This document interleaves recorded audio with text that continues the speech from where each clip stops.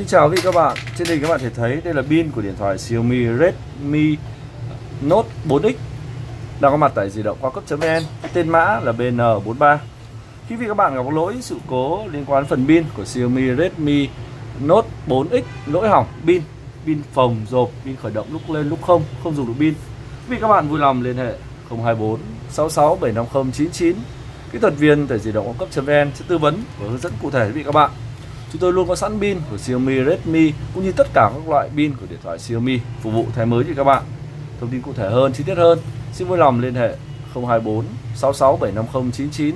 Xin cảm ơn quý vị các bạn.